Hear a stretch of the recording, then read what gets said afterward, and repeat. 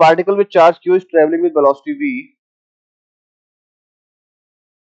to a wire with an uniform linear charge density lambda per unit length the wire also carries the current I as shown in figure the velocity with which particle travels in a straight line parallel to wire at a distance R away देखिए, बहुत simple question है ये भी अपने बेटा।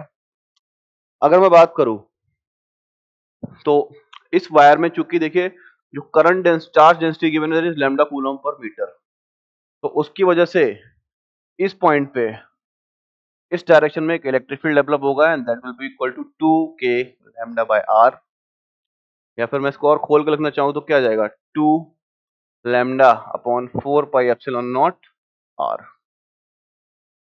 दूसरा, इस wire की वजह से करंट आई है तो मैग्नेटिक फ़ील्ड आएगा अंदर की तरफ़, है ना? जिसकी वैल्यू आ जाएगी mu naught I by two pi R अब उसने क्या बोला है? The velocity the velocity with which the particle travel in straight line parallel to wire at distance R away is velocity निकालनी है। ठीक है? और ये बी वेलोसिटी से मूव कर रहा है।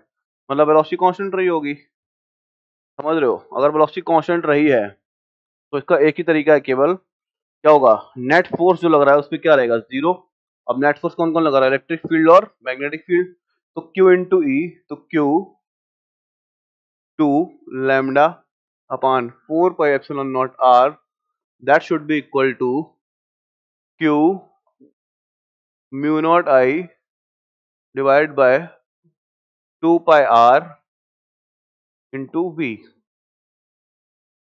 ठीक है? जैसे आप यहाँ सॉल्व करोगे तो आपका जो आंसर निकल के आएगा ना वेलोसिटी का that will comes out to be lambda upon mu naught epsilon naught I. ये आपका आंसर निकल के आ जाएगा। तो I think the first option will be the right answer for for this question ये आपका आंसर हो जाएगा।